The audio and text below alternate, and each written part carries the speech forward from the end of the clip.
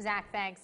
As Easter approaches, the St. Clairsville mayor and several volunteer helpers prepared to make some residents' holidays a little brighter. Mayor Catherine Thalman, Officer Greg Clark, and the Easter Bunny went out to people young and old with treats that included candy and toys like frisbees and even toothbrushes and some toothpaste.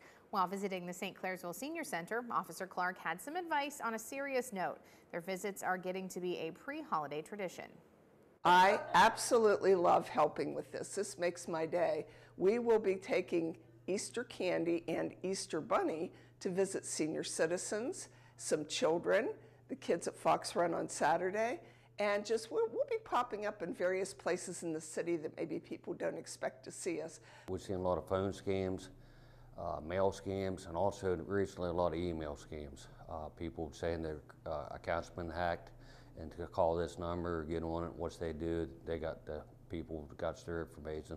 And a lot of times it's from across the ocean overseas, and it's very impossible for us to track them down.